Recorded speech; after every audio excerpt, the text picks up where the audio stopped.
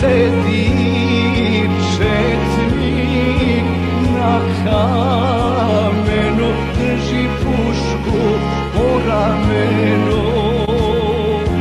A u ruci pismo čita njega stara majka pita.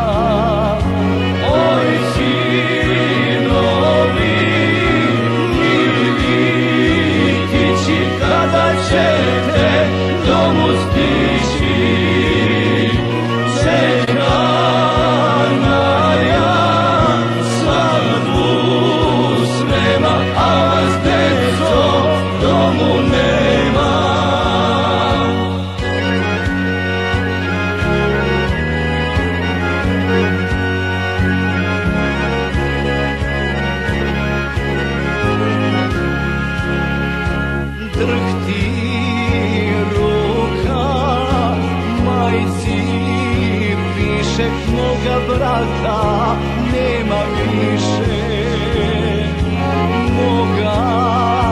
Baču lepog jovu raniše ga u mom rovu da ti